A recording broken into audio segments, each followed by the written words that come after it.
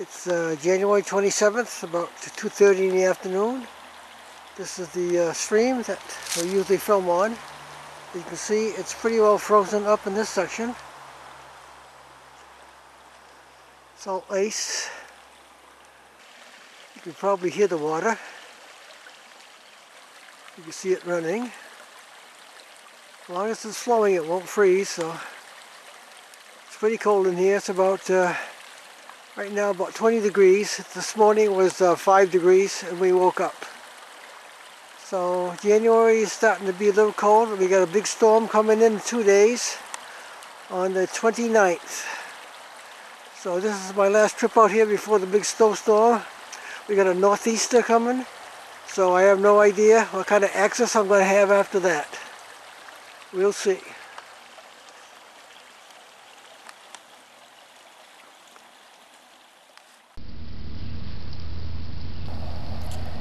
January 28th, the day before the uh, storm arrives. There's a little light snow falling. And you can see these deer seem to have something zeroed in as they are definitely in alert mode. I don't know why, but I guess they do.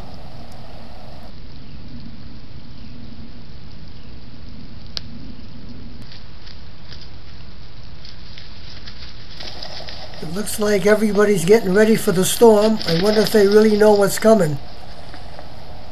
As you all will know by now, it was a blizzard. We got uh, 18 to 20 inches of snow in this area.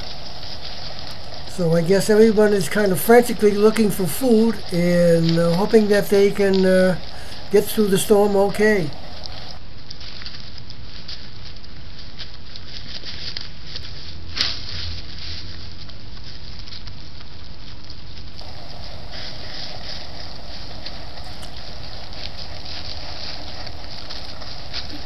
The deer in the background parading across the back of the field? Seems like everybody's uh, frantically getting prepared for the storm.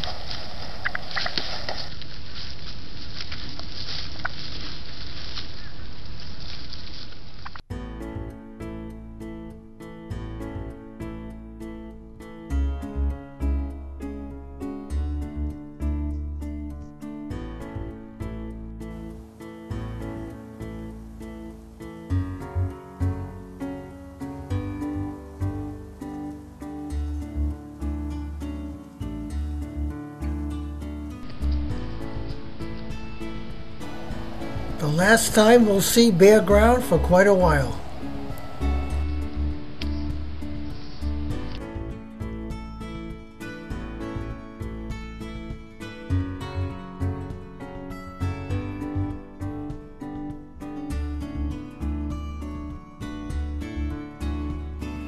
January 29th, the day of the storm has arrived.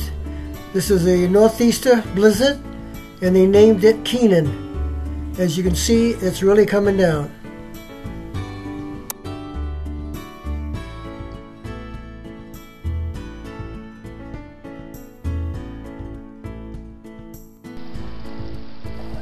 Is this shagbuck without his antlers? We're not sure, but it could be.